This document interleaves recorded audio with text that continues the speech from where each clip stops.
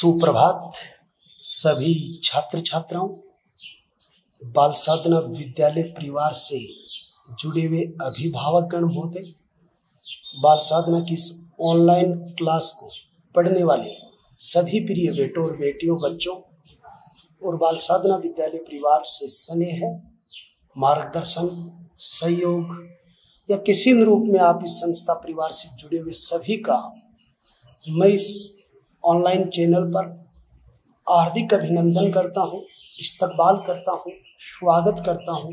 राधे राधे, जय श्री कृष्णा, जय राम राम, और सभी को साधुवाद देता हूँ। इस विद्यालय परिवार के परम पूज्य निर्देशक महोदय, संस्था प्रधान महोदय, यहाँ की शैक्षणिक और गैर शैक्षणिक टीम की ओर से और विद्यालय परिवार की हर जुड़े हुए व्यक्तित्व की ओर से इस कोरोना जैसी वैश्विक महामारी में आपके परिवार की स्वस्थता, सुरक्षा और आपके कल्याण की कामना के साथ परम पिता परमेश्वर के चरणों में बारंबार प्रार्थना करते हैं। आप स्वस्थ रहें, सुरक्षित रहें और कामयाबी की ओर बढ़ें। मेरे प्रिय अज़ीज़, हृदयगत छात्रों, आज हम एक नया टॉपिक शुरू करने जा रहे हैं 16 जुलाई 2020 को। इस टॉपिक का नाम है विनिर्माण उद्योग। देखो, सबसे पहले मैं आपको उद्योग की परिभाषा बता दूँ। उद्योग एक ऐसी आर्थिक इकाई है, जहाँ मशीन श्रम के द्वारा कच्चे माल को तैयार वस्तु में बदला जाता है। तो एक शॉर्ट रूप में आप अगर इसको क्या कहोगे कि उद्योग जो है, वो उद्योग एक ऐसा आर्थिक इकाई एक ऐसी आर्थिक इकाई है। उस आर्थिक इकाई के माध्यम से क्या होता है कि मशीन मशीन या श्रम के द्वारा, श्रम के द्वारा कच्चे माल को, कच्चे माल को तैयार वस्तु में बदला जाता है। कच्चे माल को तैयार वस्तु में बदला जाता है। इस प्रक्रिया में, जिसे विनिर्माण भी कहते हैं और वस्तु की गुणवत्ता में वृद्धि के साथ साथ मूल्य संवर्धन भी होता है, इसलिए आर्थिक इकाई के उद्योग भी कहते हैं। यानी उद्योग एक ऐसी आर्थिक इकाई है, मशीन या श्रम, जिसके द्वारा कच्चे माल को तैयार वस्तु में बदलने वाला है। और इसी कारण आप इसको क्या कहते हैं वी निर्माण उद्योग कहते हैं। और वस्तु की गुणवत्ता के कारण, वस्तु की गुणवत्ता के कारण, गुणवत्ता के कारण, या गुणवत्ता के कारण या गुणवत्ता में वृद्धि के साथ साथ मूल्य संवर्धन भी होता है। मूल्य संवर्धन भी होता है।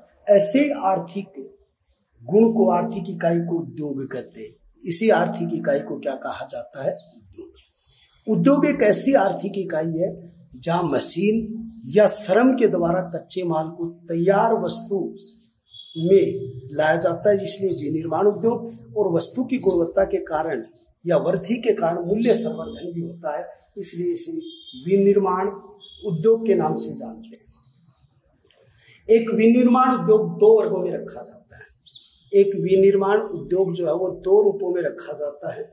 पहला जो रखा जाता है, वो रखा जाता है कृषि आधारित उद्योग और दूसरा उद्योग जो रखा जाता है वो उद्योग खनन आधारित उद्योग है।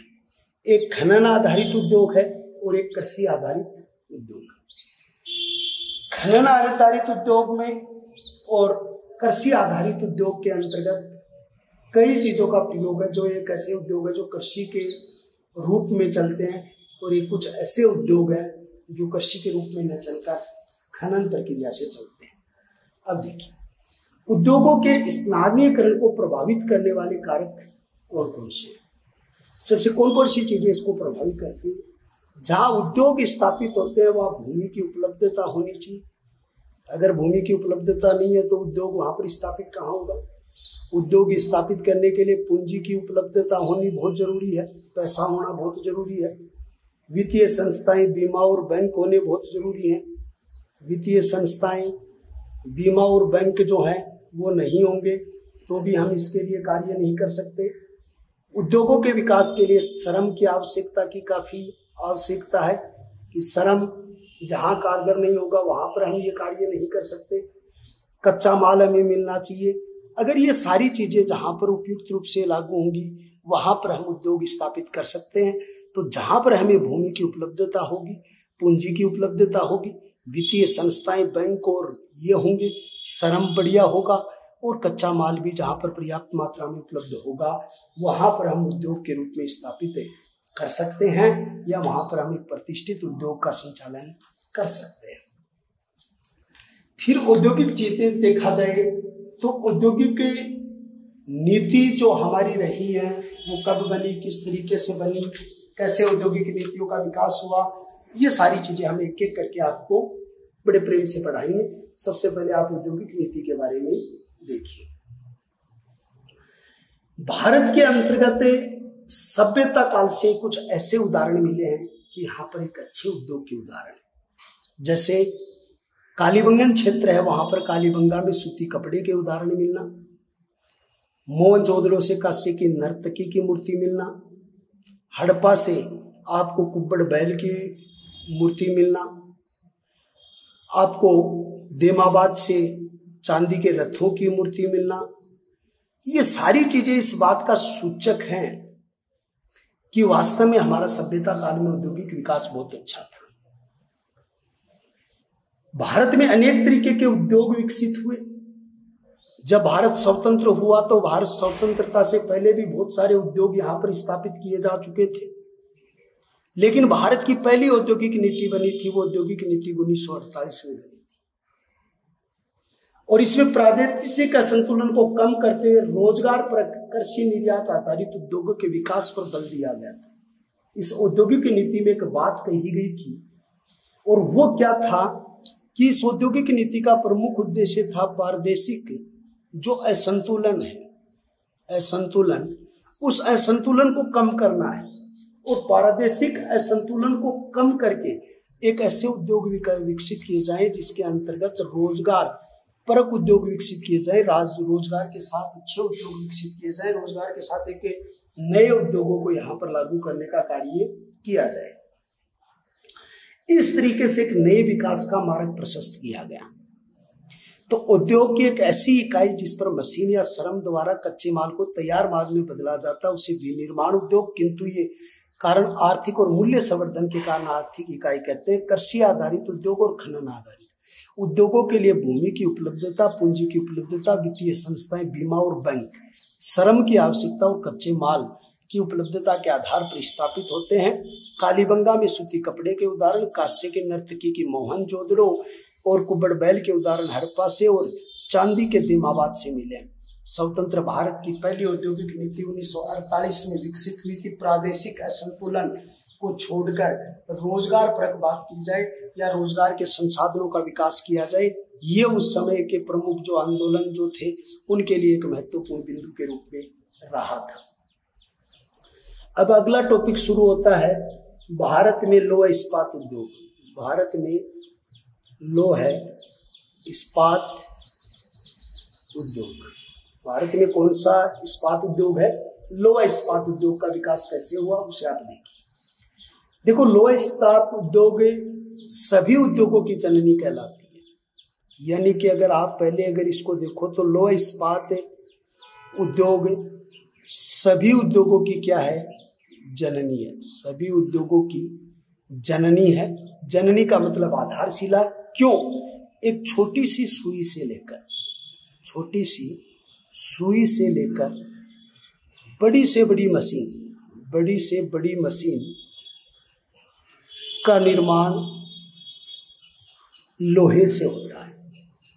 तो यानी लोहा इस्पात उद्योग जो है, वो लोहा इस्पात उद्योग संपूर्ण उद्योगों की क्या है? आधारशिला है। और संपूर्ण उद्योग के क्षेत्र में ये सबसे पहले जो है, वो विकसित हुआ, सबसे ज़्यादा श्रेष्ठ रूप से विकसित हुआ। देश में प्रथम लोहा इस्पात उद्योग 1870 में पश्चिमी बंगाल के कुल्टी नामक स्थान पर हुआ। अब आप पहला शब्द देखेंगे।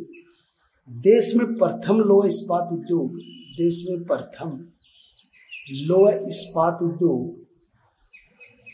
उद्योग 1870 में पश्चिमी बंगाल पश्चिमी बंगाल में कुल्टी नामक स्थान पर हुआ। कुल्टी नामक स्थान पर हुआ। देश में प्रथम लोह इस्पात उद्योग 1870 में पश्चिमी बंगाल के कुल्टी नामक स्थान पर इसकी स्थापना हुई। उसके बाद दूसरा कारखाना उन्नीस सौ सात में जो स्थापित हुआ। ये किस राज्य में हुआ? झारखंड क्षेत्र में। और झारखंड का भी कौन सी जगह थी? जमशेदपुर नामक स्थान। और जमशेदपुर के अंतर्गत सकाची नामक स्थान पर Tata Iron and Steel Company TISCO की स्थापना हुई। तो दूसरा कारखाना स्थापित हुआ 1907 में। और 1907 का जो कारखाना, वो झारखंड के जमशेदपुर क्षेत्र में कारखाना स्थापित हुआ। जमशेदपुर में सकाची नामक स्थान पर यह कारखाना स्थापित हुआ था। और इसका नाम रखा गया था टिस्को जिसको आप क्या कहोगे? Tata Iron and Steel Company. क्या रखोगे? Tata Iron and Steel Company आप इसका नाम दोगे? तो टिस्को की स्थापना, Tata Iron and Steel Company की स्थापना जो हुई है, वो Tata Iron and Steel Company की स्थापना 1907 सकाची और जमशेदपुर क्षेत्र के अंतर्गत उन्नीस सौ में। दूसरी बात, आज भी ये देश की एकमात्र निजी क्षेत्र में स्थापित लोह इस्पात उद्योग है। अगर आज भी अगर एक बात नोटेड है आज भी निजी क्षेत्र की, आज भी निजी क्षेत्र में स्थापित, निजी क्षेत्र में स्थापित एकमात्र कंपनी है। आज भी ये निजी क्षेत्र में स्थापित एकमात्र क्या है? कंपनी है। उन्नीस सौ उन्नीस में पश्चिमी बंगाल में बर्नपुर में, यानी इंडियन जो आपका आयरन के हिसाब से कंपनी स्थापित हुई थी, उन्नीस सौ उन्नीस के अंतर्गत बंगाल के बर्नपुर में हुई। तो आपकी अलग तीसरी कंपनी है। 1919 बर्नपुर क्षेत्र है और बर्नपुर क्षेत्र के अंतर्गत ये तीसरी कंपनी पश्चिमी बंगाल क्षेत्र में विकसित हुई थी। तो पहले नंबर पर तो हुई अठारह में उल्टी नामक 1907 झारखंड जमशेद सकाची नामक स्थान के ऊपर इसकी स्थापना हुई थी। और तीसरी, जो यानी कि उन्नीस सौ उन्नीस के अंतर्गत, बर्नपुर के अंतर्गत यानी हुई एक बीच में और कंपनी आई थी उन्नीस सौ नौ उन्नीस सौ नौ में आसनसोल के अंतर्गत हुई थी, कहाँ पर हुई थी? आसनसोल क्षेत्र के अंतर्गत नई कंपनी की स्थापना वहाँ पर की गई थी। लेकिन जब भारतवर्ष स्वतंत्र हो गया, भारत की स्वतंत्रता के बाद तौर तरीके बदल गए, व्यवस्थाएँ बदल गई, व्यवस्थाओं के स्वरूप बदल गए तो उन्नीस सौ तिरपन ईस्वी के अंतर्गत, उन्नीस सौ तिरपन के अंतर्गत कुल्टी बर्नपुर जो उन्नीस सौ उन्नीस में था और हीरापुर, यानी कौन सा है? हीरापुर। इन तीनों को एकीकृत करके इसको की स्थापना की गई थी। यानी इसको की स्थापना कब की गई थी? इन तीनों को की गई उन्नीस सौ तिरपन में। इसको की स्थापना की गई है, कि स्थापना के रूप में एक नया संस्थान बनाया गया। फिर दूसरी द्वितीय जो पंचवर्षीय योजना बनी थी उन्नीस सौ छप्पन से इकसठ में, तीन लोहा इस्पात उद्योग स्थापित किए गए थे। उसके बाद द्वितीय पंचवर्षीय योजना, द्वितीय पंचवर्षीय योजना पंचवर्षीय योजना में सोवियत संघ और अन्य देशों के सहयोग से तीन कारखाने स्थापित हुए। जिसमें सबसे पहला राउर केला, जर्मनी के सहयोग से ये कारखाना स्थापित हुआ उड़ीसा क्षेत्र में। दूसरा कारखाना स्थापित हुआ दुर्गापुरा, पश्चिमी बंगाल, वेस्ट बंगाल। ये जो स्थापित हुआ था, ये आपका जो दुर्गापुरा वाला, जो ब्रिटेन के सहयोग से या इंग्लैंड के सहयोग से और तीसरा कारखाना स्थापित हुआ था भिलाई, छत्तीसगढ़ क्षेत्र के अंतर्गत। सोवियत संघ रूस की सहायता से ये कारखाने स्थापित हुए थे। तो उन्नीस सौ तिरपन ईस्वी के अंतर्गत तीन संस्थान एक जगह आ गए थे और उन्नीस सौ तिरपन में तीन संस्थान जो एक जगह आए थे उसके अंतर्गत उल्टी था, बर्नपुर था, हीरापुर था और इसको था। उल्टी बर्नपुर हीरापुर और इसको था। द्वितीय पंचवर्षीय योजना के अंतर्गत सोवियत संघ और, और अन्य देशों के सहयोग से एक कंपनी स्थापित हुई जिसके अंतर्गत राउरकेला जर्मनी के सहयोग से उड़ीसा भिलाई के सहयोग से दुर्गापुरा पश्चिमी बंगाल में इंग्लैंड के सहयोग से भिलाई सोवियत संघ रूस के सहयोग से उड़ीसा के सहयोग से ये कारखाने उस समय द्वितीय पंचवर्षीय योजना जो थी, उसके अंतर्गत इनकी स्थापना हुई थी। लेकिन चौथी पंचवर्षीय योजना में बाकोरो झारखंड में स्थापित हुआ, जो एशिया का सबसे बड़ा कारखाना था। तो अगले रूप में आप लिखोगे जो चौथी पंचवर्षीय योजना, चौथी पंच वर्षीय योजना और चौथी पंचवर्षीय योजना जो है, वो चौथी पंचवर्षीय योजना कहाँ स्थापित हुई है? बाकोरो और बाकोरो कहाँ पर आता है भाई? झारखंड क्षेत्र में बाकोरो आता है। तो बाकोरो में ये स्थापित किया गया था चौथे में। एशिया का सबसे बड़ा कारखाना है। एशिया का सबसे महत्वपूर्ण, सबसे बड़ा, सबसे सक्षम कारखानों के रूप से इनकी स्थापना की गई थी। तो ये जो प्लांट विकसित हुए, उसके कारण लोहा इस्पात उद्योग जो है, उसमें और भी सर्वश्रेष्ठ कंपनी के रूप से विकसित हुआ था। फिर अगर एक बात की जाए तो यानी कि लोहा इस्पात उद्योग जो है, वो एक सर्वश्रेष्ठ उद्योग के रूप में, एक सर्वश्रेष्ठ कल्पना उद्योग के रूप में विकसित हुआ था। कहा जाता है कि सन उन्नीस सौ तिहत्तर और चौहत्तर ईस्वी में, उन्नीस सौ तिहत्तर ओब्लिक चौहत्तर ईस्वी के अंतर्गत लोहा इस्पात उद्योगों का एक संगठन बनाते हुए लोहा इस्पात उद्योगों का संगठन बनाते हुए, एक संगठन बनाते हुए किया गया था, सेल की स्थापना की गई थी। ये जो सेल है, जिसकी full form Steel Authority of India, इसकी फुल फॉर्म क्या होगी? Steel Authority of India, Authority of India. Steel Authority of India के अंतर्गत इसकी स्थापना की गई थी।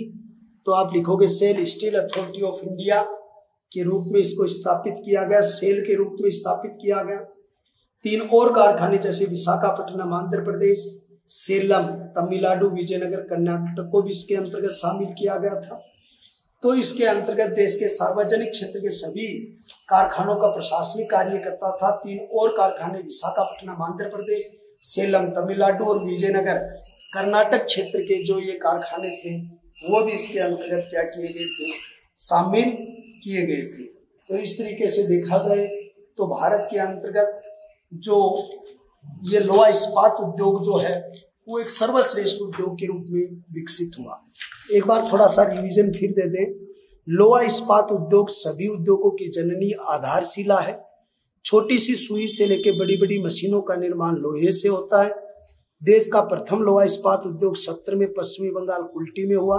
साथ में झारखंड जमशेद सकाची टिस्को के नाम से Tata Iron and Steel Company आज भी ये निजी क्षेत्र में है।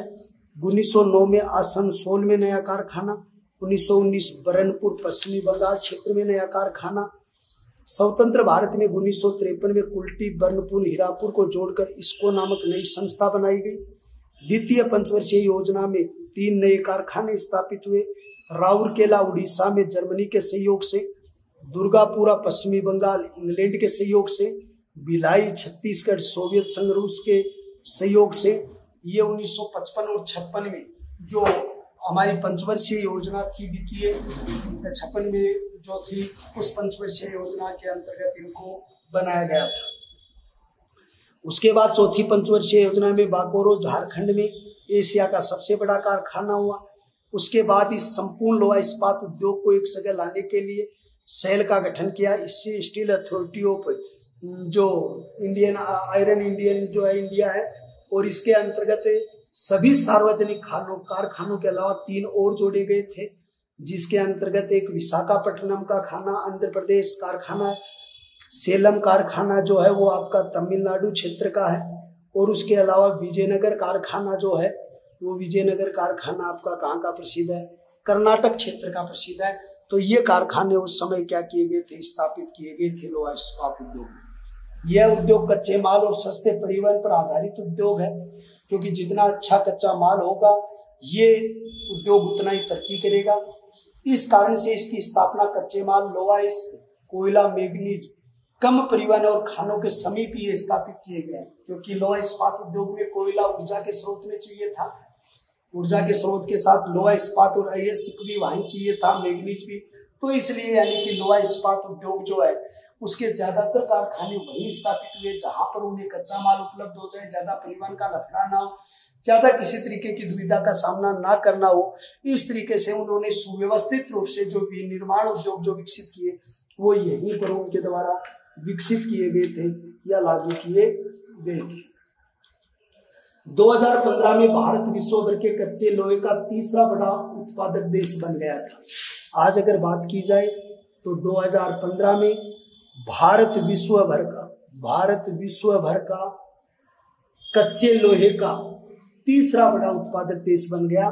भारत 2015 में भारत विश्व का कच्चे लोहे के उत्पादन वाला कच्चे लोहे के उत्पादन करने वाला या उत्पादन करने कच्चे लोहे के उत्पादन में तीसरा बड़ा देश बन गया। तीसरा बड़ा देश बन गया, तीन महत्वपूर्ण देश, उत्पादक देश बन गया। 2003 में वह आठवें स्थान पर था। 2003 का आंकड़ा पेश किया जाए तो हम आठवें स्थान पर थे। आज हम तीसरे पायदान पर थे कच्चे लोहे को निकालने में। Bharat director reduced iron DRD या आयरन का सबसे बड़ा उत्पादक है। भारत जो है वो डीआरडी का सबसे बड़ा उत्पादक है डीआरडी इस डीआरडी की वैसे फुल फॉर्म होगी, भारत डायरेक्ट डेक्यूस्ट आयरन हुआ। स्पंज आयरन का प्रमुख उत्पादक देश है चीन और अमेरिका के भारत। विश्व भर में तैयार इस्पात का तीसरा बड़ा उपभोक्ता है। अगर बात की जाए, इसकी उपभोक्ता की बात की जाए तो सर्वाधिक उपभोग जो किया जाता है वो चीन के द्वारा, क्योंकि एक बड़ा देश है। चीन के बाद में इसका उपभोग करता है अमेरिका और फिर है भारत। उत्पादन और उपभोग की दृष्टि से भारत तीसरे स्थान के ऊपर है। इस्पात देश के सकल घरेलू उत्पाद में दो प्रतिशत योगदान रखता है, छह लाख से अधिक लोगों को रोज़गार देता है। अगर हमारी जीडीपी निकाली जाए जीडीपी के साथ हमारा अगर सकल घरेलू उत्पाद देखा जाए तो सकल घरेलू उत्पाद में दो प्रतिशत योगदान जो है, वो लोहा इस्पात उद्योग का है। लोहे का है, लोहा उत्पादन का है। और छह लाख से अधिक लोग हैं, वो छह लाख से अधिक लोग यहाँ पर क्या प्राप्त करते हैं? रोज़गार प्राप्त करते हैं। तो इसको एक बार फिर देखिए। 2015 में कच्चे लोहे के क्षेत्र में हम तीसरे पायदान पर आए। 2003 में हम आठवें पायदान पर थे। DRD Bharat director, reduced iron के क्षेत्र में भारत बड़ा देश बन गया। चीन और अमेरिका के बाद तीसरा बड़ा भारत एक उपभोक्ता देश बना है। भारत के सकल घरेलू उत्पाद में जीडीपी में दो प्रतिशत योगदान लोहा इस्पात उद्योग का है और छह लाख व्यक्तियों को रोज़गार देने का जो कार्य किया है, वो छह लाख व्यक्तियों को रोज़गार देने का कार्य किसने किया? लोहा इस्पात उद्योग के द्वारा किया गया। तो ये लोहा इस्पात उद्योग एक बहुत ही सर्वश्रेष्ठ उद्योग के रूप में विकसित हुआ है या सर्वश्रेष्ठ उद्योग क्षेत्र के अंतर्गत जो है, इसकी विकास की गति का प्रयास किया गया है। तो ये सारी चीज़ें जो हैं, वो आती हैं, इस उद्योग के अंतर्गत स्थापित होती है। अगर बात की जाए, हमारे दूसरे कृषि आधारित उद्योगों क्षेत्रों की बात की जाए, या कृषि आधारित उद्योगों के बारे में अगर पढ़ा जाए तो दूसरा उद्योग जो आता है, वो हमारा सूती वस्त्र उद्योग आता है। कपास सूती वस्त्र उद्योग का प्रमुख कच्चा माल है। अभी आप इसकी पृष्ठभूमि देखिए। जो कपास है, वो सूती वस्त्र उद्योग का प्रमुख कच्चा माल है। तो सबसे पहले आप लिखेंगे सूती वस्त्र, और सूती वस्त्र में आप पहली लाइन लिखेंगे इसका कच्चा माल, और कच्चा माल किसको, कौन सी है? कपास। कपास को क्या कहा जाता है? सीडन कहते हैं, नरमा कहते हैं बणिया कहते हैं। उसके बाद में यहाँ पर सफ़ेद सोना कहते हैं। सफ़ेद सोना के साथ साथ इसको कपासी मिट्टी चाहिए। ये सारी चीज़ें मेरी पहले भी बताई हुई हैं। तो कपास इसका है, यह है काली। जो यानी कपास है, मर्दा में पाई जाती है, जिसको काली मिट्टी जो होती है, उसको कपासी मिट्टी भी कहा जाता है। तो ये सारी चीज़ें कपासी है भारत में कृषि आधारित ये देश का सबसे बड़ा उद्योग है। दूसरी बात देखिए, भारत में कृषि आधारित उद्योग में, कृषि आधारित उद्योग में सूती वस्त्र, कृषि आधारित उद्योग में सूती वस्त्र देश का सबसे बड़ा उद्योग है। सूती वस्त्र देश का सबसे बड़ा उद्योग है, ये सूती वस्त्र उद्योग जो है। अगर बात की जाए तो जीडीपी में चार प्रतिशत औद्योगिक उत्पादन में चौदह प्रतिशत और देश के एक मात्र उद्योग जिसमें कच्चे माल पर सब निर्भर है। तीन चीज़ें देखिए। अगर कृषि आधारित उद्योग में सूती वस्त्र सबसे बड़ा है, सूती वस्त्र का कच्चा माल है, वो कपास है। सूती वस्त्र जो है, वो जीडीपी में योगदान कितना है? यानी जीडीपी को आप कह सकते हैं सकल घरेलू उत्पाद तो सकल घरेलू उत्पाद में आपका इसका योगदान कितना है? चार प्रतिशत। अगर बात यहाँ से पलट के ये कर दी जाए, औद्योगिक उत्पाद तो औद्योगिक उत्पाद में इसका योगदान कितना है? चौदह प्रतिशत। और देश का एकमात्र उद्योग है जिसका कच्चा माल सब निर्भर है। यानी आप सबसे बड़ी बात है, देश का एकमात्र उद्योग उद्योग जिसका कच्चा माल, जिसका कच्चा माल सब निर्भर है। क्या है भाई सब निर्भर है? खुद पर निर्भर है, इसको दूसरे की ज़रूरत नहीं है। वर्तमान में भारत कपास का दूसरा बड़ा उत्पादक देश है। अगर बात की जाए इसका कच्चा माल कपास है तो आपको ये बात याद करनी होगी, वर्तमान में कपास के उत्पादन में भी भारत का दूसरा स्थान है। कपास के उत्पादन में प्रथम स्थान, जो द्वितीय स्थान के रूप के अंतर्गत आता है दूसरी बात यह है कि देश में सूती वस्त्र उद्योग की स्थापना 1818 में हुई थी। सूती वस्त्र का पहला कारखाना कब स्थापित हुआ? 1818 में। पहला कल कहाँ पर हुआ था? कलकत्ता क्षेत्र में पहला कारखाना स्थापित हुआ था और ये कहाँ पर हुआ था? फोर्ट ग्लास में हुआ था। कहाँ पर? फोर्ट ग्लास जो क्षेत्र है, वहाँ पर स्थापित हुआ। कोलकाता के अंतर्गत पहली बार। परंतु ये असफल रहा। देश में प्रथम सफल सूती वस्त्र उद्योग अठारह में कवास जी डावर कवास जी नाना के द्वारा, यानी मुंबई में स्थापित किया गया। लेकिन ये कारखाना बिल्कुल क्या रहा? असफल रहा। ये कारखाना बिल्कुल ही क्या रहा? असफल रहा। लेकिन प्रथम सफल कारखाना जो है, वो प्रथम सफल कारखाना अठारह ईस्वी में स्थापित हुआ। कब? अठारह सौ कहाँ पर हुआ था? मुंबई में। किसके द्वारा स्थापित किया गया? कवासी डावर या नाना के द्वारा स्थापित किया गया था, मुंबई में स्थापित किया गया था। ये सारे जो है, वो सूती वस्त्र उद्योग के क्षेत्र में जो हमारे कारखाने जो हैं, वो विकसित यहाँ पर हमारे हुए। उन्नीस अठारह में उत्पादन शुरू किया था। अठारह सौ इकसठ में भारत में कुल बारह मिलें हो चुकी थी। अठारह सौ इकसठ में कितनी थी? बारह मिलें यहाँ स्थापित हो चुकी थी। चौन वाले ने अगर उत्पादन की बात की जाए तो उत्पादन कार्य उन्नीस सौ में इन्होंने क्या किया है? शुरू किया। उन्नीस तक भारत में चौदह चार सौ सत्रह मिले थी। तीन लाख श्रमिक कार्यरत थे। अगर उन्नीस सौ सैंतालीस की बात की जाए, सैतालीस तक भारत में कुल मिलाकर कुल मिलाकर 417 मिले थी और तीन लाख श्रमिक कार्यरत थी। कितने थे? तीन लाख श्रमिक कार्यरत थे। यानी तीन लाख श्रमिक जो थे वो उसके अंतर्गत कार्य वर्तमान इन मिलों में लगभग 2000 से अधिक है 2000 अधिक मिल है और 40 लाख लोग रोज़गार पाते हैं। तो वर्तमान समय में इनकी संख्या 2000 और कितने लोग रोज़गार पाते हैं 40 लाख व्यक्ति क्या पाते हैं, रोज़गार पाते हैं। तो सूती वस्त्र उद्योग है, जो कच्चा माल है वो क्या कपास। कपास को कहते हैं सीडन, नरमा बढ़िया और सफ़ेद सोना। कृषि आधारित उद्योग में सूती वस्त्र उद्योग है, वो देश का सबसे बड़ा उद्योग है। सूती वस्त्र उद्योग जो है उसमें जीडीपी में, या आप कह सकते हैं सकल घरेलू उत्पाद के अंतर्गत देखा जाए तो इस उत्पाद के अंतर्गत चार प्रतिशत योगदान है। और औद्योगिक उत्पादन के अंतर्गत इस बात को अगर क्लियर किया जाए तो चौदह परसेंट योगदान है। देश का एकमात्र उद्योग जिसका कच्चा माल सब निर्भर है, यानी ये कच्चा माल दूसरे देशों से नहीं मंगवाता, केवल खुद पर है। हाँ आप ये कह दो कि, सर, अमेरिका से बड़े रेसे की जो कपास हाँ तो मंगवाई जाती है तो बेची भी तो जाती है। कपास में वर्तमान कपास का उत्पादन में द्वितीय स्थान पर हम है। भारतवर्ष की पहली सूती वस्त्र मिल 1818 में कोलकाता के अंतर्गत फोर्ट ग्लास में, लेकिन ये कारखाना बिल्कुल रूप से क्या रहा? असफल रहा। प्रथम सफल कारखाना अठारह सौ चौवन में मुंबई में कवासी डावर के द्वारा। लेकिन इस कारखाने ने उत्पादन कार्य जो शुरू किया था, वो उन्नीस सौ इकसठ ईस्वी के अंतर्गत किया था। वर्तमान समय अठारह सौ इकसठ, उन्नीस सौ इकसठ में, वर्तमान समय तक, अठारह सौ इकसठ है भैया, वर्तमान समय तक इकसठ तक बारह मिले भारत में स्थापित हो चुकी थी। सैतालीस तक इनकी संख्या चार सौ सत्रह हो चुकी थी और वह दो हज़ार में चालीस लाख कर्मचारी इनमें काम करते हैं और लगभग दो हज़ार के लगभग पूरे भारत में सूती वस्त्र मिलों का कार्य संचालित होता है। आज के टॉपिक में आपने सूती वस्त्र की पृष्ठभूमि, लोहा इस्पात उद्योग के बारे में और आपने लोहा इस्पात उद्योग के पूरी डिटेल के बारे में पढ़ा था। इसकी पीडीएफ को आप पढ़ेंगे, बड़े गहनता से आप इसका ध्यान रखेंगे, परिवार की स्वस्थता का ध्यान रखेंगे, खुद स्वस्थ रहेंगे, बूढ़े दादा दादी जी का ध्यान रखेंगे विद्यालय परिवार का स्नेह, आशीर्वाद हमारे हमेशा आपके साथ है, साथ रहेगा और हमेशा आप कामयाबी के सितम पर यूँ ही बढ़ेंगे। जय हिंद से